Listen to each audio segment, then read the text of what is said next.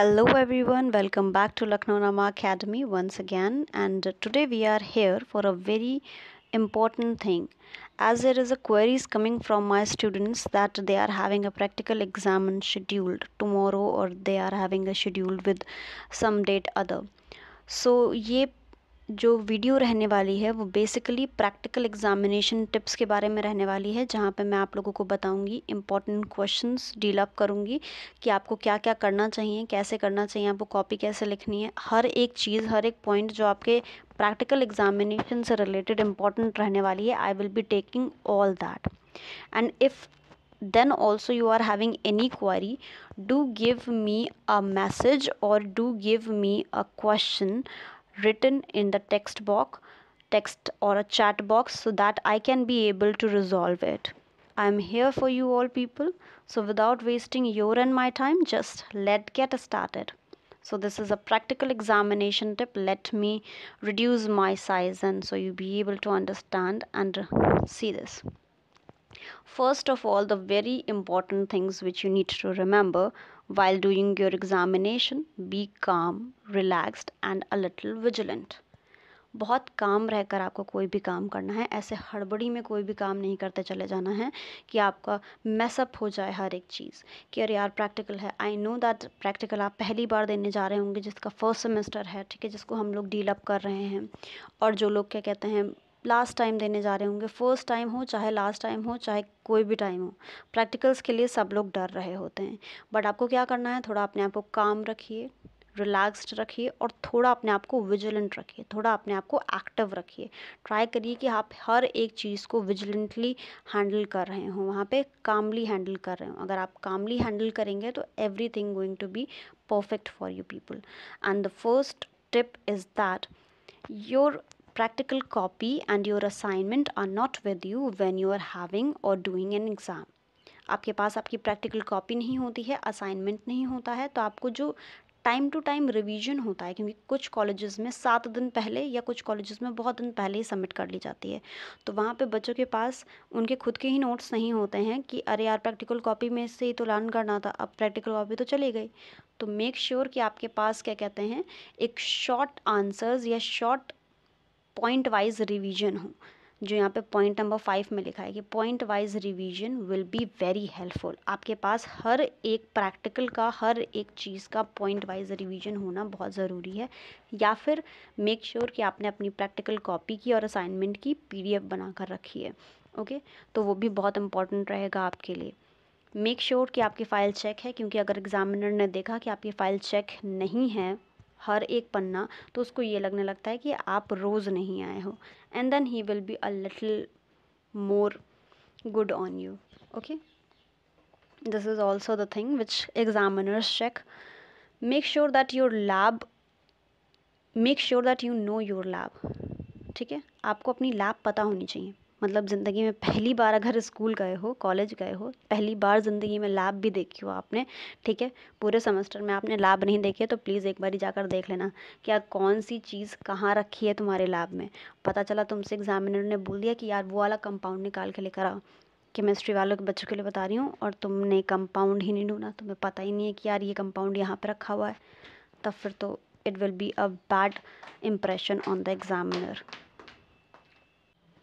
okay so that this is very important कि you know your lab आपके lab कहाँ हैं, क्या चीज़ कहाँ प्लेस की गई है?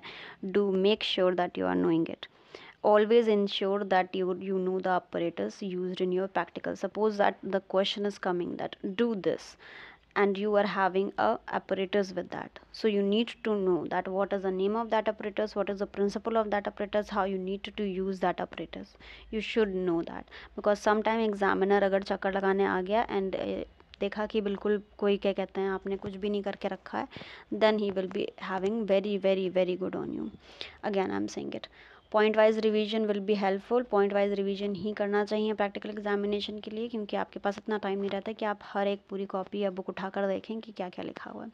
एक चीज़ ऑल्सो कि जैसे ही आपको क्वेश्चन पेपर मिलता है, आप कुछ नहीं देखते हैं, आपको पता है कि एल बी को मिला है, ठीक है? आप उठा कर लिखने लग जाते हैं हर चीज़ क्योंकि आपको उसके बारे में पता होता है या फिर तो आपके टीचर ने बता के रखा होता है या फिर तो आपको रटा हुआ होता है, ठीक है? तो आप लिखने लग जाते हैं। तो ये वाली गलती बिल्कुल भी नहीं करनी है। पहले आपको सारा का सारा सेटअप करके रख लेना है, ठीक है? सेटअप करके रखिए कि ये चीज़ इस चीज़ से होने वाली आपको इवन दो अगर पता भी है, तब भी एक बारी परफॉर्म ज़रूर करिए उस प्रैक्टिकल को, तब लिखना शुरू करिए। क्योंकि अगर एग्जामिनर आकर आपकी सीट पर पूछने लगा और आपकी सीट बिल्कुल खाली हुई, बिल्कुल नीट एंड क्लीन सीट हुई और वहाँ पर कुछ काम करा हुआ होना चाहिए तो फिर it will be having a problematic for you that how you have written that क्योंकि सबसे पहला क्वेश्चन ये होता है, बच्चे सारे तुरंत कॉपी भरने लग जाते हैं और उनकी सीट बिल्कुल चकाचक होती है। कॉपी बिल्कुल साफ़, सुंदर, सब कुछ लिखा हुआ है और उनको ये भी नहीं पता है कि कौन से अपरेटस से उनको क्या काम करना है? और वहीं एग्जामिनर क्वेश्चन करने लग जाता है तो वहीं उनका वाइवा होने से पहले वाइवा हो जाता है, ठीक है? तो ये चीज़ बहुत इंपॉर्टेंट है कि आप काम करते दिखने चाहिए। अगर आप लिख रहे हैं तो लिखने से पहले सेटअप तैयार करके रख लो, तब लिखना शुरू करो, ठीक है? This is very common mistakes which all people done in their examination when they are doing a practical exam don't write in an examination copy before doing the setup for the practical पहले setup कर लो, फिर practical का examination लिखना शुरू करो, ठीक है? दो मिनट का टाइम लगता है सेटअप करने में, ठीक है? Make sure your answers are written in a well finished manner well finished manner में लिखा होना चाहिए, ठीक है? तुमको पता है कि तुमको क्या एक्सपेरिमेंट करना है, तुम कर रहे हो वह एक्सपेरिमेंट और फिर तुम एक बार काट रहे हो उसको कि नहीं, ये था, नहीं, ये था, फिर तुमने एक पन्ना काटा तो पन्ने बहुत कम मिलते हैं, ठीक है? तो यू नीड टू नो कि तुमको बिल्कुल फिनिश्ड मैनर में लिखना चाहिए क्योंकि प्रैक्टिकल बहुत इंपॉर्टेंट होता है। प्रैक्टिकल बहुत इंपॉर्टेंट होता है और वाइवा के बेसिस पे ही आपको पूरे होल प्रैक्टिकल के मार्क्स मिलते हैं। और जितना गलत हर एक बच्चा वाइवा देता जाएगा सपोज़ करो तीस बच्चे हैं और आगे के शुरुआत के पंद्रह बच्चों ने गलत आंसर्स दिए हैं तो फिर एग्ज़ामिनर जो होता है, फिर वो और ज़्यादा लीनियंट नहीं रहता है, फिर वो और ज़्यादा टफेस्ट क्वेश्चंस पूछना शुरू कर देता है क्योंकि अब उसको दिमाग ख़राब हो चुका होता है। हम्म। तो इन सारी चीज़ों का बहुत ध्यान रखने वाला होता है। ओके पॉइंट एट क्या लिखा है? You should know how you have done the practical means you need to learn all the steps doing the practicals आपको सारे प्रैक्टिकल पता होने चाहिए। एग्जामिनर्स क्वेश्चन कैसे करते हैं? एग्जामिनर सबसे पहला क्वेश्चन यही करते हैं, जो आपने पहला क्वेश्चन लिखा होता है कि what is this how you have done this ठीक है? ये क्या है? इसको क्या होता है ये? कैसे किया है ये? ठीक है तो आपको पता होना चाहिए सारे स्टेप्स कि आपको अगर पूछा गया है सेशन कटिंग आ रहा है तो सेशन कटिंग पता होना चाहिए कि कैसे काटना है क्या क्या चीज़ों का यूज़ होता है क्या क्या पैराटस यूज़ होते हैं। You need to know all that things step wise आपको हर एक चीज़ पता होनी चाहिए। अगर नहीं पता है तो आज के आज ही बैठ कर लिख लो कि ये इस चीज़ का ये स्टेप होता है। Steps you need to know about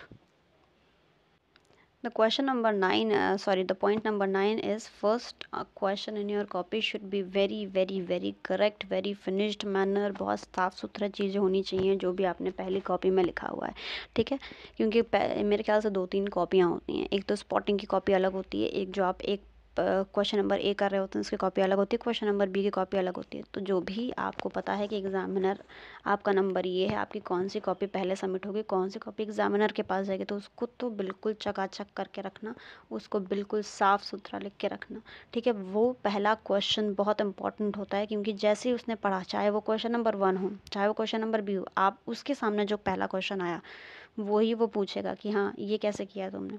ठीक है?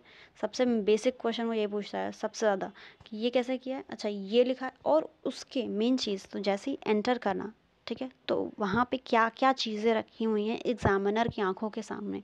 कहीं वो तुम्हारे कोई काम की चीज़ तो नहीं रखी हुई है कि ये क्या चीज़ है? अपैरेटस कहीं कोई रखे हुए हैं तो उसने अगर वो पूछ लिया, ठीक है? क्योंकि बहुत से टाइम पे जो, जहाँ पे स्पॉटिंग हो रही होती है, वहीं पे एग्ज़ामिनर बैठे होते हैं तो स्पॉटिंग पूछ लिया कि ये क्या है रखा हुआ है, ये क्या है? या फिर एग्जामिनर के सीट पर ही कोई पर्टिकुलर चीज़ रखी हुई है, कोई स्पेसिमेन रखा हुआ है, या वो कोई चीज़ खा रहा है, कोई ऐसी चीज़, जैसे पोटैटो खा रहा है तो पोटैटो का बॉट बॉटानिकल नेम पूछ लेता है। ठीक है तो बहुत इजी इजी क्वेश्चन पूछता है। अगर आपने उन आंसर्स को कर दिया तो वो लीनियंट रहता है। पर अगर आपने वही आंसर्स गलत किए तो फिर वो आपसे पूरा सेमेस्टर का भी पूछ सकता है। After point nine the point ten that जो भी अपैरेटस आप यूज़ कर रहे हैं आपका माइक्रोस्कोप हो गया स्लाइड्स हो गई कवर स्लिप हो गया, आपका पूरा डाइसेक्शन बॉक्स आपका जितना भी टेस्ट ट्यूब्स होते हैं होल्डर होता है, ठीक है? जो भी चीज़ें आपको यूज़ करनी होती हैं फ्लास्क होता है, सारी चीज़ें आपको पता होनी चाहिए राउंड बॉटम फ्लास्क किस लिए यूज़ होता है, उसका मेज़रमेंट क्या होता है फॉर केमिस्ट्री स्टूडेंट्स आपको डाइसेशन बॉक्स पूरा पता होना चाहिए for zoology and botany students ठीक है?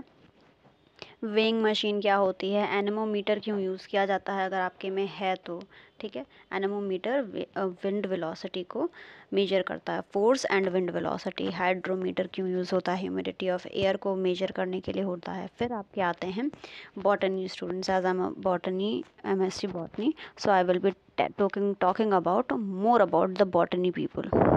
And then we will be having a zoology as well as the chemistry one also so plant viruses and their pathogens you need to learn about कि आपका tobacco mosaic virus किस लिए होता है cauliflower mosaic virus sugarcane mosaic virus leaf curl virus मैंने सारे host लिख के रख दिए हैं डिज़ीज़ लिख के रख दिए हैं पॉजिटिव एजेंट्स भी यही हैं क्योंकि ये वायरस हैं तो एज़ पर यही वायरस हैं। बस इनके बारे में थोड़ा पता करके जाइएगा। और एक और वायरस होता है जिसके बारे में आपको पता करना है। These are the things plant viruses and disease which you need to know about okay then आपका एक और आता है कि आपका भिंडी मोजैक वायरस कौन सा होता है? येलो वीन ऑफ़ भिंडी और yellow vein mosaic of bhindi that is a आपका किस चीज़ से पॉजिटिव एजेंट क्या होता है तो वो भी आपको पता होना चाहिए। B Y B Y V M B virus से होता है that is Gemini Verde family का होता है, ठीक है? उससे होता है, ठीक है? मोनोपर्टाइड होता है बिगोनो वायरस जिसको बोलते हैं हम लोग ओके तो ये सारे वायरसेस के बारे में आपको पता करना है डिज़ीज़ क्योंकि ये पर्टिकुलरली लीफ दिया जा सकता है, जैसे लीव कर्ल ऑफ़ पपाया है लीव दिया जा सकता है तो ये स्पॉटिंग में भी आ सकता है एज वेल एज आपका इंपॉर्टेंट भी है कि tobacco mosaic virus leave curl of papaya cauliflower mosaic virus these are very common ठीक है कि कौन से पार्ट को डैमेज करते हैं ट्रांसमिशन कहाँ से होता है, और ये कौन से मतलब अगर बेसिकली वायरस है तो कौन सा वायरस होता है। ठीक है कॉजिटिव एजेंट जिसको हम बोलते हैं। ओके तो वो भी आपको पता होना चाहिए। स्पॉटिंग में क्या होता है? Basically one two eight spots रखे जाते हैं जिसको आपको आइडेंटिफाई करके उनके बारे में कुछ पॉइंट्स लिखने होते हैं। तो हमको कैसे लिखना होता है? Spotting will be of two mark each okay? okay, दो मार्क के आपके क्वेश्चन होंगे तो उसी के हिसाब से आपको लिखना होगा। मतलब पूरा चीज़ नहीं लिख कर आनी है। क्या क्या चीज़ें लिख कर आनी है? आइडेंटिफाई करिए पहले तो स्पॉट को बिल्कुल करेक्ट आइडेंटिफिकेशन होना चाहिए। अगर उसकी क्लासिफिकेशन आपको आती है तो क्लासिफिकेशन नाम के साथ लिख दीजिएगा। बोटानिकल नेम सारे सही होने चाहिए जोलॉजिकल नेम अगर आप लिख रहे हैं तो इंपॉर्टेंट पॉइंट्स क्या क्या हो सकते हैं? सारी चीज़ें स्मॉल या वन पॉइंट या वन लाइन आंसर्स होनी चाहिए। मैक्स लाइन जो आपकी होंगी, वो टेन पॉइंट्स होने चाहिए। टू मार्क्स के लिए it is a maximum thing which you can write name classification common name लिखिए। यूज़ अगर है, कोई आपको अपैरेटस दे रख के रखा है तो यूज़ क्या होता है? प्रिंसिपल क्या होता है? काम कैसे करता है? और उस चीज़ के बारे में इंपॉर्टेंट पॉइंट्स पार्ट्स क्या होते हैं वर्किंग क्या होती है कौन सा पार्ट कैसा वर्क करता है। रफ डायग्राम अगर आप बना सकते हैं, उस स्लाइड को देखकर अगर स्लाइड है तो या फिर कोई भी चीज़ है या फिर उसका कोई भी इंपॉर्टेंट डायग्राम आपको पता है तो वो चीज़ देखकर आप रफ डायग्राम बनाइए। पाँच पॉइंट उस चीज़ के बारे में लिखिए, काम खत्म। तो ये पंद्रह पॉइंट्स मैंने बता दिए इन पंद्रह पॉइंट्स में से आप कोई भी दस पॉइंट्स जो आपको उस टाइम पर याद रहें ठीक है क्योंकि दो दो मिनट का टाइम मिलता है, उसके बाद आपको नेक्स्ट उस पर स्पॉट पर जाना होता है। उसके बाद दो मिनट आपको दिए जाते हैं पूरी चीज़ों को एक्यूमुलेट करने के लिए कि आपके आठ स्पॉट्स हैं, उसके बाद आपको दो मिनट एक्स्ट्रा दिए जाते हैं ताकि आप सारी चीज़ों को एक्यूमुलेट कर लें। उसमें आप एक एक पॉइंट एक्स्ट्रा लिख सकते हैं, हर एक चीज़ के बारे में। अगर कुछ छूट गया हो तो आप दस पॉइंट कंप्लीट कर सकते हैं। मैक्सिमम दस पॉइंट्स तो आप लिखिए। फिर इंपॉर्टेंट क्वेश्चंस जो होते हैं, जो आ सकते हैं आपके वाइवा के लिए इंपॉर्टेंट क्वेश्चंस कि माइक्रोबियल टेक्निक्स कौन कौन से होती हैं? तो माइक्रोबियल टेक्निक्स में आपका Gram staining Gram positive Gram negative आ गया। ग्राम स्टेनिंग में मैंने पूरी वीडियो बनाकर डाल दी है you can watch that also apparatus कौन कौन से यूज़ हो सकते हैं? ठीक है? कौन कौन सा अपैरेटस आप यूज़ कर रहे हैं? आपको सब का प्रिंसिपल वर्किंग सब कुछ पता होना चाहिए कि प्रिंसिपल क्या है? पार्ट्स क्या यूज़ हो रहे हैं? कंपाउंड माइक्रोस्कोप और dissect action microscope please learn कर कर जाइएगा because this is very important पता होना चाहिए, पता चला, आपको यही नहीं पता है कि डायसेक्टिंग माइक्रोस्कोप और कंपाउंड माइक्रोस्कोप में क्या डिफरेंस होता है, ठीक है? अगर आपका लेंस है तो वो कितने मैक्स तक जा सकता है मैग्निफिकेशन कितनी हो सकती है, उसकी कौन सा पार्ट कैसे यूज़ होता है, कैसे आपको लाइट ट्रैवल करानी है, उसमें सब कुछ आपको पता होना चाहिए। अपैरेटस में वो सारी चीज़ें आ सकती हैं। डायसेक्शन डायसेक्टिंग माइक्रोस्कोप और कंपाउंड माइक्रोस्कोप क्योंकि सामने ही रखे होते हैं तो it is very important heterocyst is very important at it is a nitrogen fixation bacteria में पाया जाता है। हेट्रोसिस्ट की वजह से ही नाइट्रोजन फिक्सेशन होता है। तो this is also very important bacteria cell wall cell wall और वायरसेस के जीनोम के बारे में भी एक बार पढ़ लीजिएगा। हार्डली ये आने वाला है क्वेश्चन बट तब भी अगर आ जाए तो प्लांट जो आपके नाइट्रोजन फिक्सेशन करते हैं या इन्वायरमेंट के लिए बहुत इंपॉर्टेंट हैं that is rhizobium and anabaena nitrogen fixation bacterias कौन कौन से हो सकते हैं या नाइट्रोजन फिक्सेशन प्लांट्स कौन कौन से हो सकते हैं? राइजोबियम एनाबेना ठीक है? Lichen what is the importance of lichen तो लाइकन क्या होता है? लाइकन परमानेंट एसोसिएशन बनाता है फंगस से या फंगल माइकोबियंट फंगल जो होगा तो माइकोबियंट बोला जाएगा। अगर एल्गल से एसोसिएशन बनाएगा तो फाइकोबियंट बोला जाएगा। लाइकन वहाँ प्रेजेंट होता है, जहाँ पे पोल्यूशन बहुत कम होता है। तो ये एक सेंसर है पोल्यूटेंट्स के लिए, ठीक है? वहाँ पे बहुत ज़्यादा रेयरली नहीं देखने को मिलता है, जहाँ पे बहुत ढेर सारे पोल्यूटेंट्स होंगे। कॉजिटिव एजेंट्स सारे के सारे डिज़ीज़ के unit to know then you need to know about the causative agents of all diseases causative agents मैं बार बार बोल रही हूँ क्योंकि आपको फिर स्पॉटिंग में भी दे दिया जाएगा, वहाँ पे भी आपको कॉजिटिव एजेंट होस्ट उसका बोटानिकल नेम सब कुछ लिखना होगा। प्लाज्मिट क्या होता है? एक्स्ट्रा क्रोमोजोमल डीएनए होता है। प्लाज्मिट के बारे में भी पूछा जा सकता है, ठीक है? सारी चीज़ें यहाँ पर लिखी हुई हैं कि कैसे जेनेटिक मटेरियल होता है, क्या होता है सेल में रेप्लिकेट करता है इंडिपेंडेंटली क्रोमोजोमल के इंडिपेंडेंटली रेप्लिकेट करता है। और क्यों यूज़ होता है फ़ंक्शन क्या होता है टूल होता है क्लोन करने के लिए जीन ट्रांसफरिंग के लिए मैनिपुलेशन के लिए बायोटेक्नोलॉजी में बहुत ज़्यादा यूज़ होता है प्लाज्मिट्स का। बैक्टीरियल कल्चर क्या होता है? देखिए, दो तरीके का बैक्टीरियल कल्चर हो सकता है। ये भी एक बैक्टीरियल टेक्निक में आता है, बैक्टीरियल कल्चर। या फिर तो हम बैक्टीरिया को कल्चर में करके ग्रोथ कराते हैं। पूरा का पूरा स्टराइल कंडीशन होती है वहाँ पे। कोई भी हम, कोई भी चीज़ को, कोई भी पैथोजन को आने नहीं देते हैं। वो पूरी स्टराइल कंडीशन होती है। एक प्रॉपर कंडीशन रिक्वायरमेंट होती है उसके लिए। ठीक है? उसको कल्चर बैक्टीरियल ग्रोथ करवाते हैं कल्चर में। एंड देन दूसरी चीज़ क्या हो सकती है? दूसरी चीज़ कि आपको कोई बैक्टीरिया हार्म कर रहा है, उसके लिए भी बैक्टीरियल कल्चर कर कर ही वो चीज़ डिटेक्ट करी जाती है। अगर आपसे पूछा जाए यूनिसेलुलर फंजाई कौन सा होता है? तो ईस्ट होता है। वायरॉइड क्या होता है? तो इन्फेक्शन एजेंट होता है which consist only of R N A bacteriophage virus पूरा एक मैंने सेशन लिख के रखा है बैक्टीरियोफेज वायरस का you can go with that colonial algae कौन सा होता है? तो आपका वॉलवॉक्स जो होता है वो कॉलोनियल एल्गी होता है, ठीक है? तो उसके बारे में भी आप लिख सकते हैं। एल्ब्यूगो क्या होता है? एल्ब्यूगो जो होता है फंजाई होता है प्लांट पैरासाइट होता है, जिससे आपका white rust of mustard cause होता है। पक्सीनिया क्या होता है? पक्सीनिया भी फंजाई होता है। पक्सीनिया ग्रामिनस कॉज करता है स्टेम में रस्ट ठीक है? और आपका लीफ रस्ट डिज़ीज़ भी जो होता है, वो कॉज करता है पैक्सीनिया ट्रिटिकसीना ट्रिटिकीना भी बोला जाता है जिसको। फ्यूजेरियम क्या होता है? ये भी एक फंजाई है, प्लांट पैथोजन है, ठीक है? जो क्राउन ग्रॉथ डिज़ीज़ या स्कैब ऑफ़ पोटैटो या फिर आप सीरियल्स में भी, सीरियल ग्रेन में भी देख सकते हैं। ब्लाइट डिज़ीज़ भी फ्यूजेरियम के थ्रू कॉज होती है। पाइथियम क्या होता है? पाइथियम होता है, फंजाई होता है, क्राउन एंड रॉट डिजीजेस को कॉज करता है, ठीक है? सेक्रोमाइसिस बोलार्डी क्या होता है? इट इज़ अ फंगस ठीक है? और ये ईस्ट का ही आपका सर, जैसे आपका बिकर्स ईस्ट होता है सेक्रोमाइसिस सर्विसीज वैसे ही बॉलाडी होता है, वो प्रोबायोटिक की तरह यूज़ होता है। तो इसका इंडस्ट्रियल यूज़ बहुत ज़्यादा है ईस्ट का। वॉलवॉक्स जैसे मैंने बताया कि कॉलोनियल एल्गी है जेनेटिक मॉडल भी कहा जा सकता है इसको सेलुलर डिफ्रेंसिएशन के लिए बहुत यूज़ होता है वॉलवॉक्स ठीक है तो it is also very important for the study basis higher study basis chara क्या होता है? कारा एलगी होता है, ठीक है स्टेबलाइज करता है bottom sediments of the lakes and ponds and marine marine mainly. Microcystis cyanobacteria होता है। साइनोबैक्टीरिया जितने भी होंगे, सब में हेट्रोसिस्ट पाया जाएगा। ब्लू ग्रीन एल्गी होता है माइक्रोसिस्ट और माइक्रोसिस्ट ही जो एल्गल ब्लूम है उसका भी कॉज करता है। एल्गल ब्लूम मतलब पूरे के पूरे पॉन्ड या लेक में आपको ऊपर की परत पूरी जमी हुई एल्गल, एल्गी पूरा जमा हुआ दिखाई देता है, जिसकी वजह से वो ट्रैप कर लेता है जितने भी ऑक्सीजन होते हैं उनको।